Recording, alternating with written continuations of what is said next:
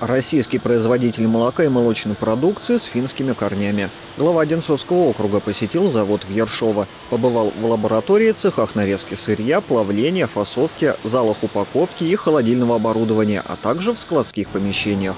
По итогам осмотра Андрей Иванов отметил, что, несмотря на смену акционера, предприятие продолжает развиваться. Сразу видно, что есть культура производства, что все то, что хорошее в свое время нам э, помогли создать э, финские партнеры. Сейчас это э, развивается и уж точно на том же уровне качества и с точки зрения технологии, и с точки зрения самого отношения к работе.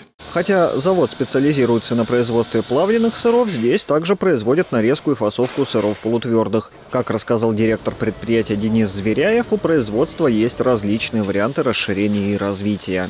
Завод современный, современное оборудование, современные технологии, э, современный менеджмент, который позволяет, все это позволяет производить нам тот продукт, который так любим нашими потребителями. В последнее время э, мы э, установили новую фасовочную машину российского производства, а также конвейерные системы также российского производства.